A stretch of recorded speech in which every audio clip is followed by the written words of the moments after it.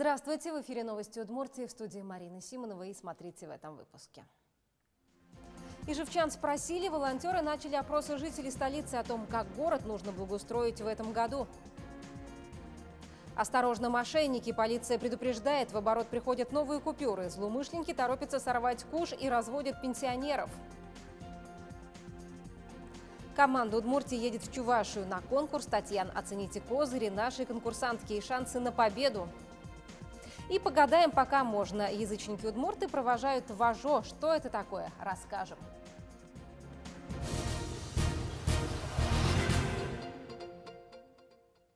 Владимир Путин оценил проекты благоустройства Сарапула. Городоначальник Александр Эссен представил их президенту на форуме малых городов в Коломне. На этот форум съехались представители почти 250 населенных пунктов из 70 регионов страны, чтобы выбрать лучшие практики по развитию культурного, туристического и экономического потенциала малых городов и исторических поселений. На форуме также подвели итоги первого года реализации приоритетного проекта формирования комфортной городской среды. Для Сарапула он стал частью большой большой программы по сохранению культурного наследия купеческого города. Об этом Александр Эссен лично рассказал главе государства. Я доложил, что город работает, объединяя несколько источников. Программа по формированию комфортной городской среды, федеральная программа поддержки внутреннего въездного туризма, привлечение частных инвестиций. Доложил также, что сейчас работаем с идеей создания фонда по сохранению культурного наследия и благоустройства города. Владимир Владимирович очень положительно отозвался об успешных практиках Сарапула по восстановлению памятников архитектуры.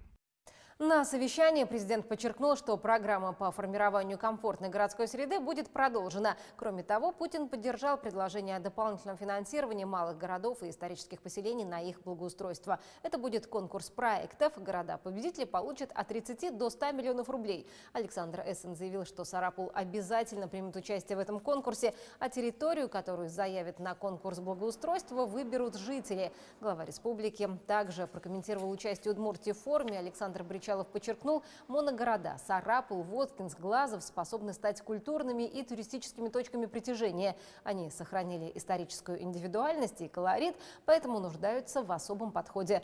Президентский проект формирования комфортной городской среды стал мощным импульсом для их развития. Реализацию приоритетного проекта сегодня обсуждали и в столице Удмуртии. Работа предстоит большая. Планируется обновить сотни дворов и общественных зон, парков и скверов. Но каких именно должны решить сами люди? Опрос горожан уже стартовал в Ижевске. Где работают волонтеры и каким хотят видеть столицу ижевчане, узнал Роман Вагинов. Как сделать столицу Удмуртии лучше, комфортнее и удобнее для жизни, сегодня спрашивают у самих горожан. Опросы стартовали в крупных торговых центрах. Предварительный рейтинг общественных мест, которые нуждаются в реорганизации, в Ижевске уже определен. В него вошли 15 зон, но и этот список по итогам опроса людей может быть расширен. Кроме улицы Пушкинской и более-менее советской гулять в принципе негде, то есть пешеходные зоны были бы полезны. Да, я изучанин. Мне бы хотелось, конечно, чтобы у нас в городе появлялось больше зеленых зон. Я бы очень хотела, чтобы в Ижевске появился центр современного искусства, вообще, в принципе, уличного искусства, тоже, по примеру, Петербурга или Москвы, то есть парк Горького можно парк Кирова переоборудовать примерно похожее пространство, я считаю. Парк Кирова среди лидеров опроса уже есть и предварительная концепция развития. К 10 июня здесь планируют организовать фан-зону, как раз к открытию чемпионата мира по футболу, сообщил глава столицы Юрий Тюрин. Проблемы и ближайшие перспективы программы формирования комфортной среды обсудили в правительстве республики. Задача не просто обустроить парк или двор, а сделать их точками притяжения. Чем наполнить эти площадки, должны решить люди. К работе также подключат архитекторов, урбанистов и проектировщиков.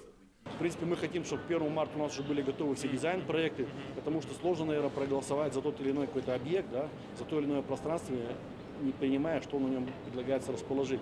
Поэтому дизайн-проекты они тоже будут готовы, по крайней мере, как минимум всех тех 15 объектов, которые уже предлагались нашими жителями к обустройству. В итоге из этого списка 15+, жители Ижевска выберут 2-3 общественные зоны, которые и будут приводить в порядок в этом году. Голосование пройдет 18 марта. В проект по благоустройству охотно включились и районы Удмуртии. В прошлом году преобразили 9 общественных территорий. Так в поселке Кес обновили парк Победы, и это только начало. Все сложилось очень здорово. Поэтому а, первые риски прошли и считаем, что вот продолжить работу, связанную именно с благоустройством территории, э, прилегающей именно центральной части поселка, нам надо, конечно, и периферию подтягивать. По поручению президента страны Владимира Путина федеральный проект формирования комфортной городской среды стартовал в прошлом году. Сама программа рассчитана на 5 лет. Республиканские власти ставят задачу работать максимально открыто и вовлекать граждан в реализацию проектов обязательно особое внимание уделить рейтинговому голосованию. Безусловно, 100% по тем населенным пунктам, населения которое превышает 20 тысяч человек, по тем, которые не превышает, прошу внимательно относиться к тому, что именно рейтинговое голосование позволяет выделить те объекты, которые будут, в которых будет наибольшая востребованность у э, населения. Прошлом году на ремонт дворов и общественных зон в Удмуртии было потрачено свыше 400 миллионов рублей. Деньги Федерации, Республики и самих граждан. Такая же сумма запланирована этот. За пять лет на формирование комфортной среды в Удмуртии планируется потратить 1 миллиард 700 миллионов рублей. Роман Вагнов, Александр Демидов, Юрий Дроздов, Юрий Зелененький, телеканал «Моя Удмуртия».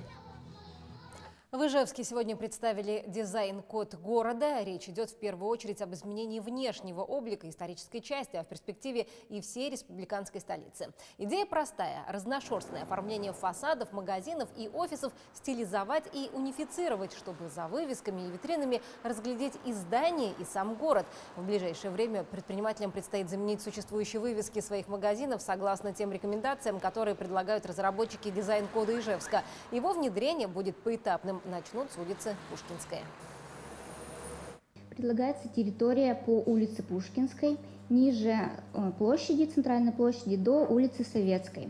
На данной территории как раз это историческая зона. Здесь находится не так много зданий и не так много собственников предприятий, с которыми необходимо плотно проработать изменение вывесок. Мы все живем в Ижевске, видим вот такие замечательные картинки, которые, наверное, кроме как э, визуальным мусором, э, действительно сегодня назвать нельзя. Хотим просто предложить помощь предпринимательскому сообществу в том, чтобы унифицировать изображение э, вывесок и информационных материалов. И, в общем-то, это э, даст и жителям, и гостям города Ижевска возможность, как я уже сказал, любоваться тем видом, который город, в котором он был, он был изначально. Концепцию предлагаемого дизайн-кода вынесут на общественные слушания. Они намечены на 8 февраля. Кроме этого, вопрос будут обсуждать на ближайшем заседании Совета по развитию предпринимательства при главе Удмуртии. Территориальные избирательные комиссии начали подготовку к выборам. Сегодня представители со всех районов республики приехали в Ижевск на учебу уже с 31 января. Им предстоит начать работу по приему заявления о голосовании по месту нахождения. Напомню, каждый житель России, который в день голосования 18 марта будет за пределами своего избирательного участка, может проголосовать там, где удобно. Для этого нужно заранее написать специальное заявление. Его примут в любой территориальной избирательной комиссии, МФЦ, или можно подать его через сайт госуслуг. А за 20 дней до дня голосования к ним подключатся и все участковые избирательные комиссии. Можно будет написать заявление, которое будет защищено э, специальной защитной маркой. Также обговорить э, с членами участковой комиссии, где он будет находиться, и его сразу э, также прикрепят через систему ГАЗ-выборы на тот избирательный участок, где он будет находиться в день голосования. Председатель Центра избиркома Удмуртии Виктор Кушко обратил внимание на то, что последний день приема таких заявлений – 17 марта. А полиция и пенсионный фонд предупреждают о мошенниках. С начала года в Ижевске уже зафиксировано несколько случаев обмана пожилых людей. Последний факт. Злоумышленники решили воспользоваться новостью о вводе в оборот новых денежных купюр номиналом 200 рублей и 2000. Они подошли к пенсионеру на улице, представились сотрудниками пенсионного фонда, сказали, что в стране идет денежная реформа и нужно проверить номера банкнот. Под этим предлогом попали в квартиру. Пока престарелые супруги отвлеклись, злоумышленники подменили настоящие деньги деньги фальшивками, подбросили билеты банка приколов и сбежали, прихватив с собой сбережения стариков 44 тысячи рублей. Никакого отношения к денежной реформе сотрудники пенсионного фонда отношения не имеют. Мы не обмениваем деньги Мы не запрашиваем какие-либо купюры для того, чтобы их переписать. Неоднократно заявляли, и еще раз хочу повторить о том, что сотрудники пенсионного фонда по домам не ходят. Все консультации у нас проводятся в наших клиентских службах. По данным Центрального банка Российской Федерации, рестайлинг денежных знаков, то есть выпуск банкнот номиналом 200 и 2000 рублей, замена защитных признаков банкнот будет производиться постепенно путем изъятия из оборота купюр старого образца и ввода в оборот новых. Специального обмена денежных знаков у граждан не предусмотрено. К бдительности пожилых людей призывают сегодня и сотрудники социальных центров. Напоминают, что график посещения квартир соцработниками заранее обсуждается и соблюдается строго. Уже четверть века заботятся и помогают одиноким пенсионерам и людям в трудной жизненной ситуации сотрудники Центра социального обслуживания в Ленинском районе Ижевска. Он один из старейших в Удмуртии. Кто сегодня готов к работе по призванию, Елена Обуховская расскажет. Начистила картошку, потому что э, девочки хотят э, пюре и котлеты. Каждое утро соцработник Ольга Костина в семье Ривк начинает с обсуждения меню. Одиноким пенсионеркам женщина помогает по хозяйству, приносит продукты, покупает лекарства, убирается в квартире. Таких, как Ривк, в рабочем списке Ольги Витальевны 11 человек. Признается, особый подход нужен каждому. Пока у меня есть силы, я хочу быть полезной. И приносить какую-то пользу. Что самое сложное в вашей работе, на ваш взгляд? Найти взаимоотношения с бабушками. Помощь престарелым и людям с ограниченными возможностями – одна из важных услуг Центра социального обслуживания Ленинского района. Еще одна – реабилитация. Раз, два, три. Каждый день, как на работу, сюда в тренажерный зал центра спешит Виктор Бушмелев. Он пенсионер, в этом году ему 70. Поднимает грузы и крутит педали строго под присмотром специалистов. Ну, во-первых, обязанность появляется как бы внутренняя, то есть как на работу. Утром подъем, не, не, не, некогда тянуться, к 9 утра надо уже быть здесь. И это ежедневно, то есть поддерживаешь себя. Тренажерный зал недавно обновили, добавили спорт-инвентаря. Вообще за 25 лет в социальном центре изменилось многое. Увеличилось число видов помощи, заработала единственная в Ижевске социальная гостиница.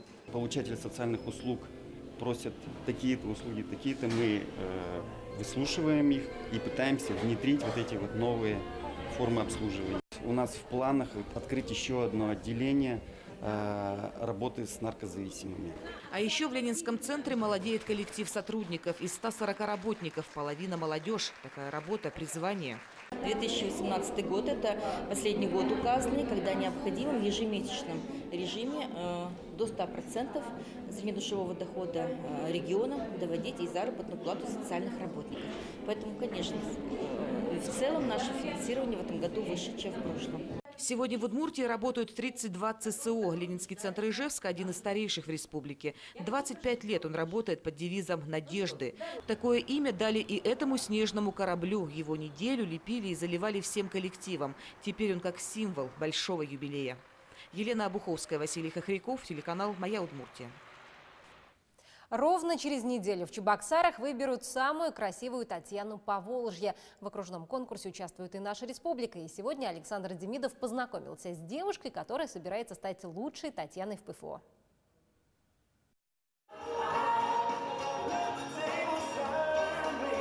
Студентка Института социальных коммуникаций УДГУ Татьяна Кислицына готовится к конкурсу «Татьяна Поволжье». Осталась неделя, тренировки интенсивные по несколько часов в день. Мы планируем удивить жюри оригинальным жанром. То есть а, для начала я буду играть на рояле, а затем у нас начнется театрализованное действие. Татьяна Поволжье в этом году соберутся в Чебоксарах. Прошлый конкурс выиграла представительница Чувашии. Наша Таня намерена взять реванш. Давит на чувства, ее номер – сплошная романтика. Сюжет о том, что девушка, которая э, играет э, на рояле, она не хочет э, все время быть за роялем, она хочет э, быть со своим любимым э, мужчиной, а именно идеалом мужчины. И она этого идеала представляет в уборщике. То есть а, и у нее во сне как будто бы у них это все вливается в искреннюю любовь, это выражается все в танце. Вместе с Татьяной в Чебоксары отправится внушительная группа поддержки. Конкурс – это еще и возможность показать соседям нашу республику, например, через дефиле. Костюм для конкурса сейчас дошивают портные. Этот, чтобы отрепетировать движение. Особенность этого конкурса – все Тани везут с собой социальные проекты. И этой нашей Татьяне только на руку. Впервые участницы будут презентовать свои социальные проекты, а так как наша Таня, она э, очень такая девушка, которая занимается волонтерством, то она э, будет, естественно, презентовать проект, связанный с волонтерством. И я думаю, что сейчас, в год э, волонтеров, э, это будет максимально актуально. Бороться за титул Татьяны Поволжья команда Удмуртии отправится в воскресенье. Сам конкурс традиционно пройдет 25 января, в Татьянин день. Кстати, четыре года назад участница из Ижевска уже получала победную диадему. Она также училась на втором курсе Института социальных коммуникаций УДГУ.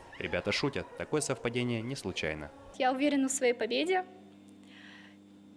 Я супер. Александр Демидов, Юрий Егоров, телеканал «Моя Удмуртия». И последнее. В Удмуртии провожает Важо, темные потусторонние силы, и используют последние разрешенные дни для гадания. Настоящий языческий обряд провели в этнографическом музее-заповеднике Лударвай. Так что такое Важо и как его задобрить, Екатерина Горина расскажет. Главные участники живого спектакля – ряженые. Обязательное условие этого в хорошем смысле маскарада – сроки его проведения. Вожодыр, то есть время вожо, наступает 7 января и заканчивается 19 -го. Это перекресток времени, это время злых духов, это время все связано, пронизано с темными силами, темными духами. Говорят, что вожо, они э, умершие предки, которые возвращаются вот, вот в этот промежуток времени навестить своих родственников.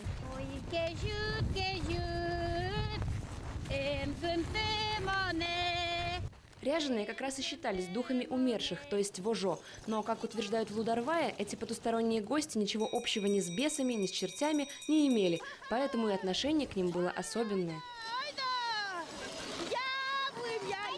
Обращение «вожому мы» про матери духов к силам природы, обрядовая хлеб с маслом гостям. Просите здоровья, счастья себе. В музее-заповеднике праздник провели во второй раз. Желающих поучаствовать не напугал даже мороз. Ну а тех, кто все-таки замерз, ждали в избе с табанями и перепечами. Девочки, одна перепечь из капусты, две ватрушки. Ну и еще один важный момент – гадание. Сотрудники Лудервая уверяют, только в эти дни гадать не грех. Совсем богатый, богатый. Вот такого мечтала. С вопросами посерьезнее гости праздника обращались к профессиональным гадалкам. Не упустили такую возможность и мы, спросили о будущем телеканала. Вы будете двигаться достаточно активно, но с внутренними изменениями. Может быть, даже с внешними изменениями. Может быть, вы просто поменяете шапку. И будет моя любимая Удмуртия. Или как-то еще. Мы еще пока этого не знаем. Но год, который хорош для творческих людей, несет вам испытания, но и преодоление этих испытаний. Ну и кульминация праздника – ритуал проводов вожо. Пока петух не прокукарекает, вожо под воду не уйдет. Кукарекай, чепуйте, мед Ой, молодец! Екатерина Горина, Елена Слесарева, Илья Дерендяев, телеканал «Моя Удмуртия». И на этом все. Удачи тем, кто собирается сегодня окунуться в купель. Завтра мы расскажем и покажем таких смельчаков. Так что до встречи.